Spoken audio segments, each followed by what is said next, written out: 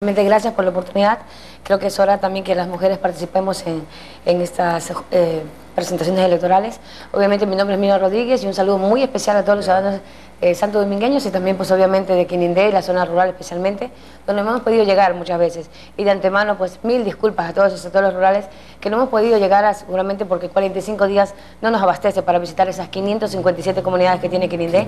557, entonces 45 días verás que es imposible, imposible poder llegar y cuando no tenemos esa estructura para poder llegar a... No ha podido llegar usted como candidata, pero sí conoce todo su cantón. por supuesto, no podemos llegar a visitarles, hacer la propuesta, porque nosotros diariamente alcanzamos por general a visitar como socializamos, no solo entregamos una propuesta y priorizando y viendo las necesidades que tiene cada sector, obviamente va a ser imposible llegar a las 500 y picas, pero en todo caso, lo que sí hará Miriam Rodríguez una vez en la alcaldía es visitar a cada estos sectores para socializar y priorizar las obras de cada lugar, tengan la plena seguridad que llegaremos en todo caso a cada uno, a cada rincón de Quirindé. Claro. Ahora cuénteme, ¿quién es Miriam Rodríguez? ¿Cómo se nos presenta a través de en televisión? ¿Cuál es su carrera académica, su experiencia? Y usted la pone a la a la orden de los Quinindé, de la gente Bueno, por supuesto. Miriam Rodríguez es una mujer que ha venido luchando justamente, es hija de padres campesinos de origen, de padres agricultores. En todo caso, Miriam Rodríguez ha sentido la necesidad en carne propia del sector campesino. Eh, cuando somos excluidos, eh, somos marginados, por ciertas eh, personas, por ser del, sector rural justamente, hemos sido marginados todos los pueblos. Entonces es ahí donde hace sentir que Miriam Rodríguez ha palpado en carne propia. Entonces totalmente eh, me animó a participar en ese momento y justamente me animó a capacitarme en esto que dice aquí. Miriam Rodríguez es miembro activo del Consejo Ciudadano de Secretaría de Pueblos y Movimientos Sociales. Fue mi, fue mi, mi empuje más que nada a capacitarme en esos temas. Miriam Rodríguez también forma parte de la Coordinadora Nacional Campesina, forma parte de otros ministerios de la Secretaría Nacional de Gestión de la Política, justamente para emprender y para capacitarme, para poder ayudar al sector campesino. En todo caso, Miriam Rodríguez, aparte de ser una mujer sencilla, transparente y con muchísimas ganas de trabajar por Quinindé y todo especialmente, como dije, el sector campesino, decidí aceptar este reto por esa invitación que había el Partido Socialista y que pues obviamente, pues si nosotros revisamos el plan de gobierno, el que maneja el país, el plan nacional del país, es socialista. Entonces, ¿por qué hacerlo desde un color que debió ser esperanza y que ya tuvieron la oportunidad de hacerlo y que no lo han hecho? Hacerlo directamente un color rojo, que significa pues fuerza y fortaleza y revolución. ¿Primera experiencia en el campo electoral?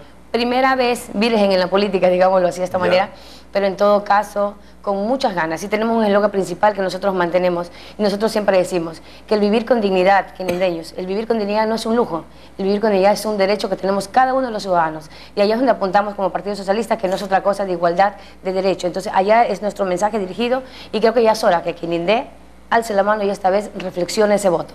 Usted conoce profundamente Quinindé. ¿Cuáles piensa que son los problemas más álgidos de este cantón de Esmeraldas? Mira, en el sector urbano tenemos, es verdad que supuestamente, entre comillas, eh, tenemos servicios básicos, pero tenemos servicios básicos a medias, no tenemos servicios de calidad.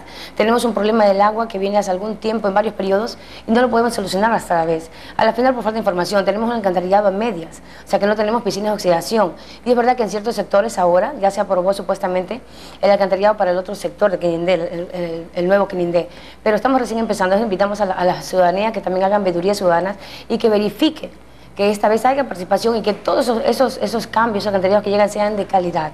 El, tema vial es un problema terrible que tenemos en Quinindé, a pesar de que Cantón de Quinindé es el cantón productor supuestamente mayor, no solo del país, sino del mundo, Quinindé vive en una situación tan precaria vivimos atrasados, yo no sé por qué vivimos en esa situación. En todo caso, yo creo que es hora de hacer un cambio y hacer un viraje total para transformar y obviamente, aprovechando lo que dice la Constitución en este momento, por primera vez, después de 46 años de continuación, pues puede haber una mujer en la alcaldía justamente para llegar a arreglar esa administración municipal. Como siempre decimos las mujeres, y ustedes lo saben. Nunca ha habido alcalde... Nunca ha habido una alcaldesa, ahora soy la primera candidata en medio de, de cuatro hombres, una candidata mujer a la alcaldía, y aprovechar lo que dice la Constitución, equidad de género, inclusión, en todo caso, esta vez, una mujer para llegar un poquito, dice, a arreglar el desorden que muchas veces los hombres realizan, en todo caso con mucha capacidad, con muchas ganas y pues a darle fuerza esta vez porque Quirindé es un, cantón productivo. Ya. El presupuesto, usted lo ha analizado, el presupuesto de Quirindé, ¿piensa que está bien manejado o hay que hacer cambios, mejoras sustanciales? Mira, pienso que es muchísimos cambios. El presupuesto, y, da mucha pena realmente en este momento que supuestamente eh, país, como país, supuestamente ellos cuentan, cuentan con un techo, que tienen el respaldo. Y yo no entiendo sobre, sobre eso, eh, teniendo ese techo, cómo no pudieran hacer grandes obras por Quinindé, cuando tienen ese techo, tienen ese respaldo del presidente. En todo caso, lamentablemente si revisamos el color esperanza que ahora debería ser, vemos que los que están allí ahora son todos los de la derecha.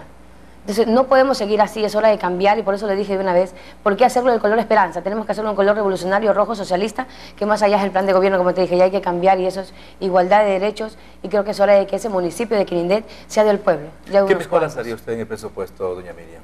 Mira, tenemos muchas opciones del presupuesto. El presupuesto es verdad que contamos con un promedio de 17 millones eh, eh, anuales en el municipio, pero también contamos con los, con los, los presupuestos que nos da el Banco del Estado, que son obviamente con 80-20 por lo general.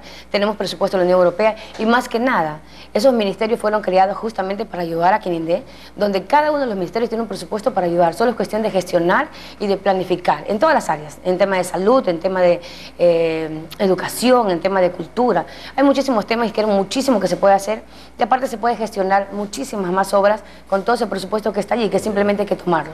Desde el municipio de Quirindé, ¿cómo favorecería usted al campo? Porque sabiendo que son cinco urbanos y cuatro concejales rurales, vemos que es una población eminentemente rural. ¿Cómo favorecer desde el municipio para que haya mayor productividad, para que evitar lo que pasó acá en Santo Domingo, por ejemplo? La gente del campo se vino a la ciudad y evitar que la gente del campo allá mismo en Quinité pues se vaya a la ciudad y más bien favorecerles allá su trabajo. Mira, nosotros manejamos un eslogan. Y obviamente como mujer de origen campesino, de padres agricultores, te dije, lo he vivido en carne propia. Y nosotros siempre tenemos un eslogan principal dirigido al campesino, que es este, tú puedes ver, una hojita que por lo general digamos, y nosotros decimos a toda la ciudadanía, si es verdad que nosotros contamos muchas veces o necesitamos una vez en la vida un doctor, un arquitecto, un abogado, pero la gente tiene que estar consciente en Quinindé que todos los días y tres veces al día necesitamos al agricultor. Entonces es hora de que los agricultores también conformen, y es el trabajo que vengo, vengo manejando hace algunos años, participando, porque justamente hay que empezar por las organizaciones campesinas, hay que empezar a formar una base desde los recintos de las comunidades para que el sector campesino se organice y empecemos a formar. Yo tenía la idea anteriormente de formar una coordinadora cantonal de organizaciones campesinas. ¿Para qué? Para que de una manera conjunta empecemos a capacitarnos con capacitación en tecnificación, en productividad y ya no seamos simples cosechadores o productores de una línea, que nos empecemos a capacitar y nos organicemos en una manera macro, que seamos ya exportadores, como deberíamos ser. Tenemos toda la capacidad, tenemos, somos un, cantón agrícola. ¿Es posible hacer todo eso? Por supuesto, claro que sí. ¿Qué faltaría? Falta socializar, con cada uno de los sectores rurales, falta emprender con cada uno de los grupos y organizar por parroquias. Yo había empezado un proyecto de hacerlo con la parroquia La Unión y la parroquia Malimpia, que son las parroquias más grandes del cantón, para empezar un proyecto político que viene que empezar desde las bases, la formación de esta gente, a todos los dirigentes. Lo primero que Miriam Rodríguez haría en el cantón de Quindé para el sector rural, para el sector rural que estaba planificado, es hacer una asamblea cantonal, donde podamos reunir todos los dirigentes y todos los líderes de cada comunidad para empezar a formarnos y a educarnos, para empezar a formar esa, esa agrupación campesina que podemos hacerlo en En todo caso, con toda la confianza del mundo y con manos limpias y transparentes, este grupo de gente socialista, porque somos todos nuevos en, este, en, en una contienda política, los invito a rayar este 23 de febrero con toda la confianza del mundo y con corazón y con esa poca ternura que tenemos todavía dentro de los quirindeños, todo 17 en plancha, esta vez, sin miedo. De acuerdo. Eh, doña Miriam, una última pregunta en el campo político-administrativo. Usted sabe que la Unión es una parroquia grande, usted lo ha reconocido, y su gente quiere ya ser cantón. ¿Cuál sería su gestión si es que llega a la alcaldía de Quirindé para favorecer esta aspiración de la gente de la Por supuesto. Eh, hace mucho tiempo la, la Unión debió haber sido ya cantón y obviamente uno, hay muchísimos problemas, ¿verdad? En el sector que nosotros vivimos, que es los límites, que es el sector Charcopa, que es límite con el, sector Manabí, nosotros contamos como, como urbano somos urbanos cuando realmente somos rurales. Entonces, una de las cosas que hay que emprender, y sí es verdad que ahora el municipio aprobó la independencia, la, la hizo parroquia, pero en todo caso hay que impulsar y de alguna manera, así como hay sectores que constan como rurales, tendrían que ser urbanos y con todo gusto, aunque ahora en la, en la Constitución o a nivel de gobierno está prohibido, se impulsará de alguna manera para que parroquia, sin ningún egoísmo, pase a ser cantón y que crezca productivamente, y por qué no, darles la mano para que también sean cantón para que también participe más gente, para que puedan aprovechar todos los recursos que viene el Estado de una manera independiente. O sea, ese es mi compromiso también con la Unión, porque es un, trabajo que hay que hacerlo, que debía haber sido ya hace mucho tiempo, y que ojalá que con esta autorización que el municipio dio en este momento, ojalá la independencia recapacite y no pida consulta popular y se vaya a ir con Pichincha, porque eso puede pasar. O Santo Domingo. o, o sea, Santo Domingo es lo mismo. En todo caso, yo os invito esta vez a reflexionar y que por qué no unirse, que sigan unidos con la Unión y que podamos ser esa parroquia que esta vez la más grande, se pase a ser cantón de Quinindé. Un cantón más para la provincia de Esmeralda y con todo gusto esta mujer impulsará para que eso sea así y obviamente para que tenga todos los beneficios como un mini gobierno que debería ser también la parroquia